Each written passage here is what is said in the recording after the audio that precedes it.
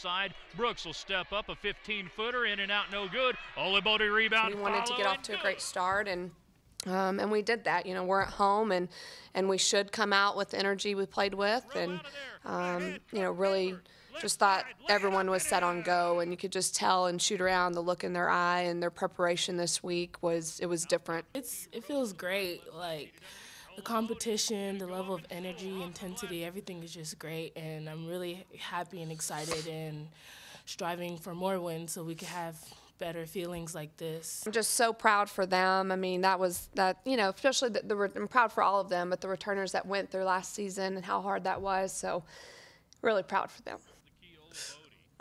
Probably one of the best Big 12 wins I've had in my career, and I've been here a long time. So, so you know, I, I'm excited for for the things that's ahead of this team and and the things that Coach Whitaker has ahead of her. She, you know, she prepared us, and our coaching staff prepared us, unlike any anything I've ever been a part of. So, I think this this win shows a lot of people that we're a completely different team, and we're a force to be 37. reckoned with. Congratulations to Candi Whitaker, career victory number 100.